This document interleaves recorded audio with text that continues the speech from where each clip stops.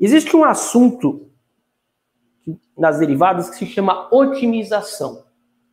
Fazer o máximo gastando o mínimo. Ter o maior lucro ou menor desperdício. Todo mundo quer isso. Inclusive, tem uma matéria que só trata disso, que se chama pesquisa operacional. Se você tiver na faculdade, nem todas têm, você vai ver que é uma matéria muito bacana. Ele sempre quer fazer cadeia de Moscov, tem várias técnicas aí para você tentar fazer o máximo gastando o mínimo.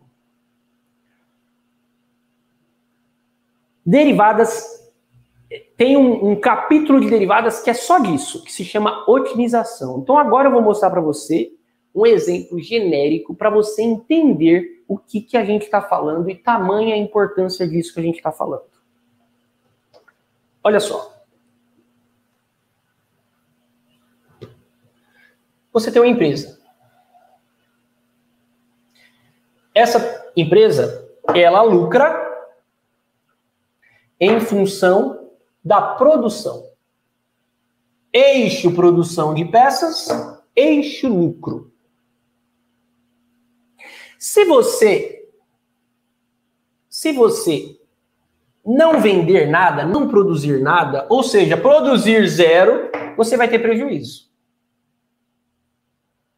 Vamos colocar em milhares, unidade de milhares aqui. Então vai ser menos 10 mil. Concorda comigo? Eu tenho funcionário para pagar, eu tenho energia elétrica, água, luz, aluguel, tudo isso e não produzir nada. Então, o meu lucro vai ser negativo. Ô, Léo, Léo, troca a conta. Troca a conta do Google. Todos os números? Todos os números? Não, tem, tem dois que estão um tá no Zap eu, o outro no W Cruz, no, no Final E aí tem mais dois. Pega algum número, tenta e coloca em outra conta do Google. Não naquele, todos estavam no beta? Não, todos estavam no beta? Todos estavam no beta? Sim. Então é a conta do Google. Vê se tem, tem algum outro número de celular, vê se tem algum outro número, tenta colocar no grupo. Não pode estar nessa conta do Google aí que estava.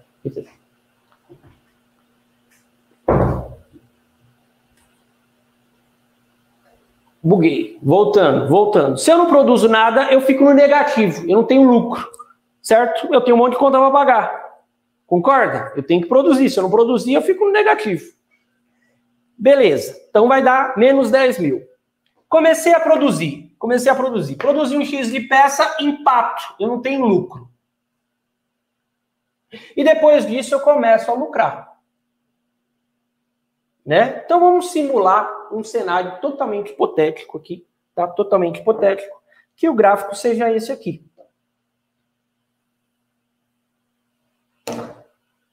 Seja esse aqui. Aqui é 100 peças, aqui 200 peças, aqui, deixa eu aumentar essa inclinação aqui para ficar mais claro para você.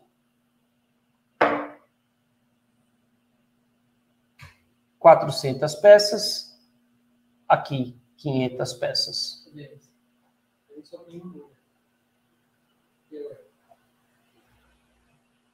Deixa no grupo, não manda mensagem para ninguém. Não responde ninguém, só deixa no grupo. Põe o número pessoal de alguém lá. Pode pôr meu número pessoal nos grupos. Estamos sendo bloqueados até pela NASA. Não sei o que aconteceu, que o Zuckerberg está bloqueando todos os números da Help aqui. Mas enfim, continuemos nas derivadas. Cheio de emoção essas derivadas hoje. Bora!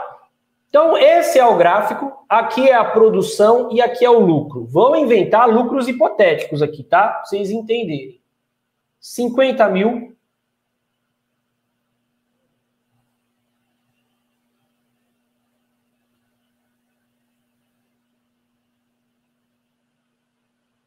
Trinta mil.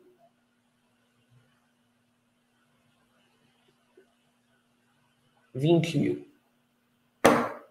Essas letras feias aí, né, professor? Pelo amor de Deus, faz um negócio decente. 50, 30 e 20. Então vamos lá. O que acontece? O empresário chegou, produziu 150 peças e lucrou 20 mil. Bacana, comecei a ter lucro. Foi lá, produziu 200 peças, lucrou 50 mil. E aí estava indo, estava indo tudo bem. Até que um dia ele lucrou. Vou pegar aqui. 400 peças. Ele produziu 400 peças e lucrou 30 mil também. E aí ele começa a pensar: alguém está me roubando. Não faz o menor sentido. Eu produzi 150, lucrei 20.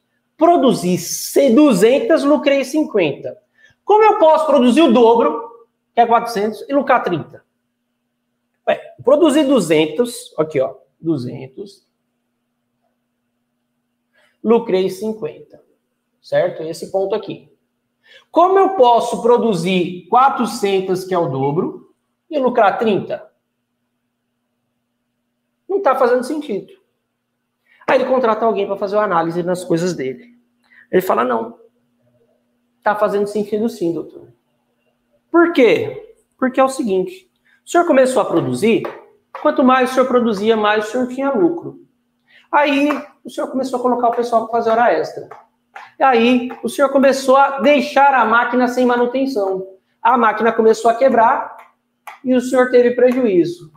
Seu funcionário começou a ficar doente e não vir trabalhar. O seu funcionário processou e ganhou na justiça. E o seu lucro foi diminuindo.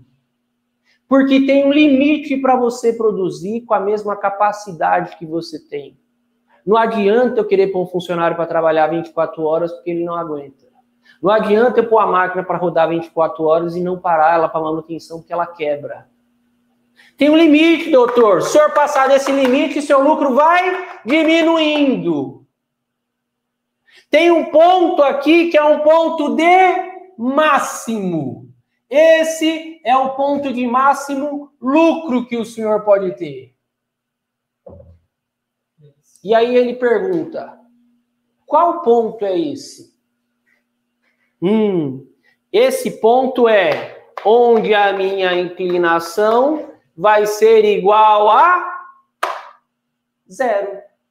Porque olha só, a inclinação da minha função está subindo, está subindo, está subindo, está subindo. Chegou aqui, ela fica igual a zero e depois começa a diminuir.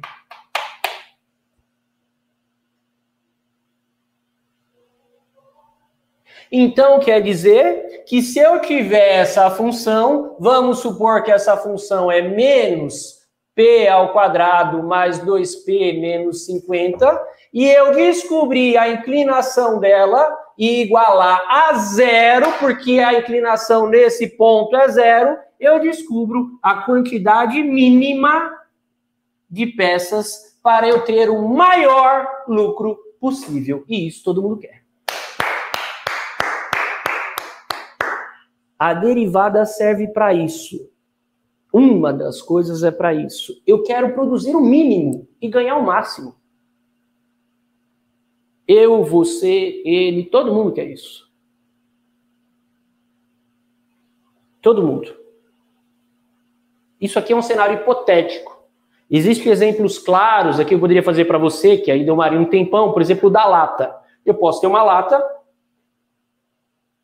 com, ocupando um volume desse jeito aqui, ocupando o mesmo volume desse jeito aqui, ocupando o mesmo volume desse jeito aqui. Todas elas ocupando o mesmo volume, né? Aqui teria que ser bem mais comprida, velho.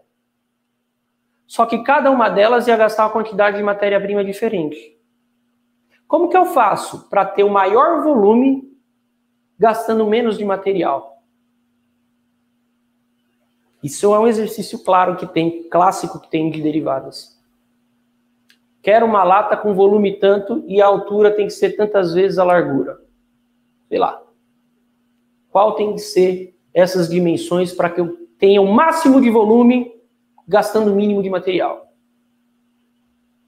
Agora, o mundo real não é só isso, né? Se você pegar a lata de leite moça, ela tem uma curva bonita para o cliente pegar, né? Tem outras coisas, design, estética, mas pensando do ponto de vista só de produção, em economia de material, é isso que o cara vai fazer. Ele vai descobrir uma função, ele vai modelar matematicamente, descobrir uma função, e depois ele vai derivar para encontrar a inclinação dessa função e igualar a zero, porque aí ele vai encontrar ou o ponto de máximo ou o ponto de mínimo. Entenderam?